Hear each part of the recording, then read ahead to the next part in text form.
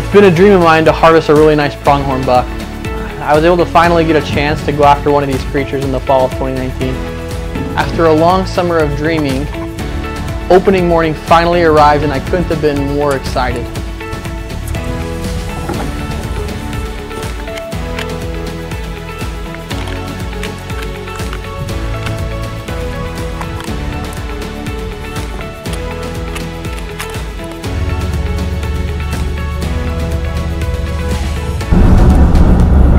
Just got onto the unit right now. It's our first time seeing it. So right now we're just gonna go drive the whole property, see if we can see any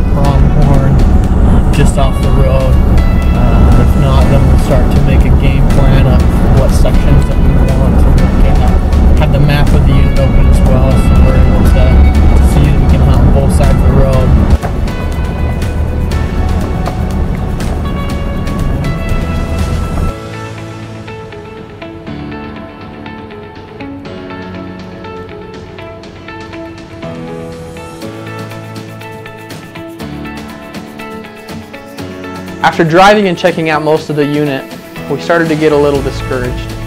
Not a single antelope in sight. After a few hours, we finally found one. It was definitely not the buck I was after though.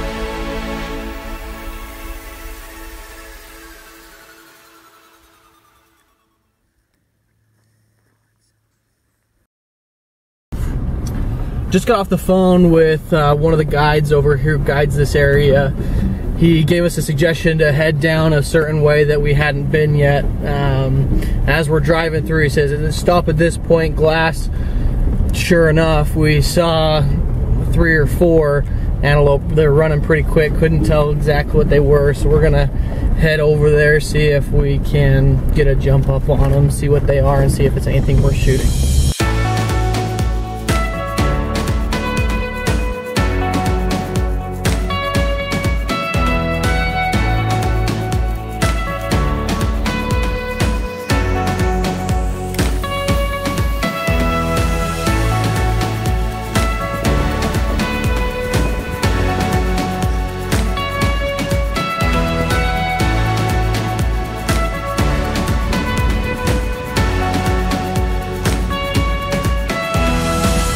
We were able to finally close the distance a little bit, but as I was getting ready to take a shot, the buck saw gathered up his herd, and took off.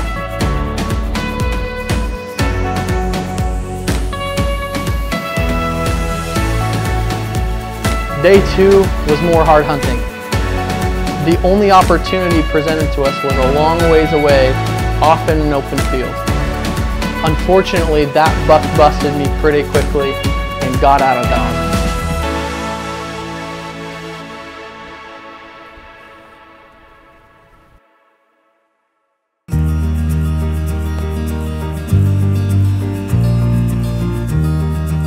We pulled out all the stops for our third day, including a much better rifle built for long-range shooting. We found a herd early in the morning and began stalking in on one of the satellite bucks.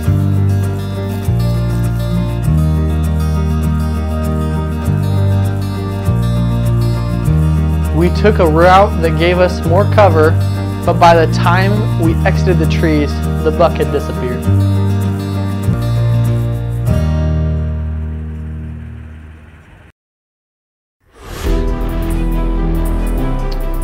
A few hours later, we spotted a buck 800 yards off of the road. After watching him for a few minutes, we determined that he was a shooter and it was time to set up for a long-range shot.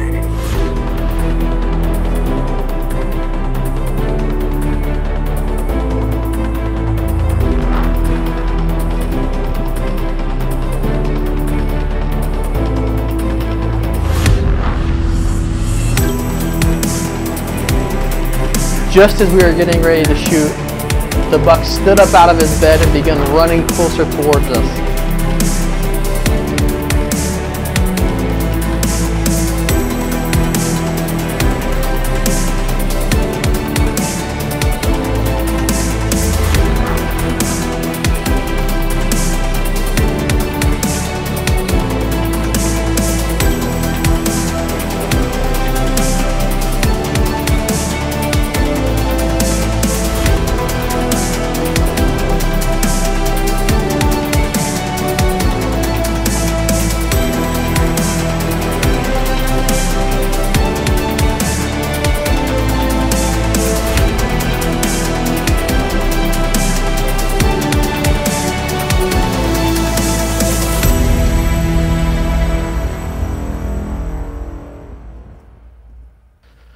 Eventually, he disappeared into a ravine, and we quickly picked up our gear and headed in for a closer chance.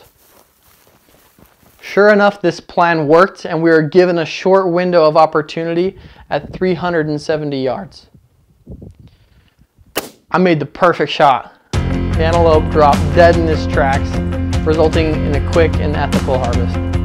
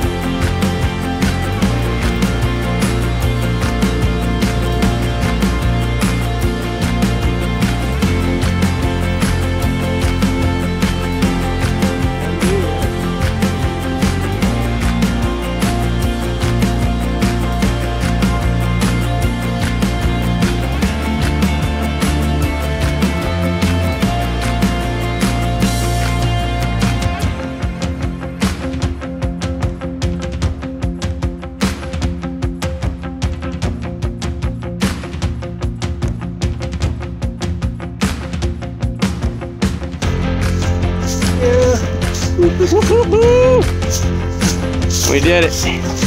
Dunzo. Parker made it happen. Yeah! The Antelope King. What a crazy, crazy day. I can't believe how that one went down. Nice. Quick. Nice.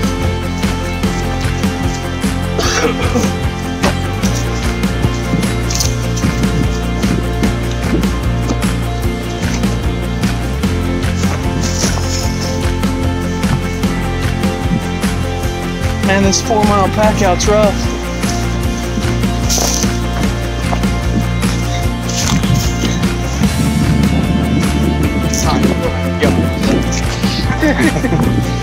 Take it, dude. Take it. So cool. Exciting. Antelope are just so cool. I just have the utmost respect for these creatures and just how amazing they are. So I'm extremely blessed and grateful. Blessed and grateful to be back in the truck, too.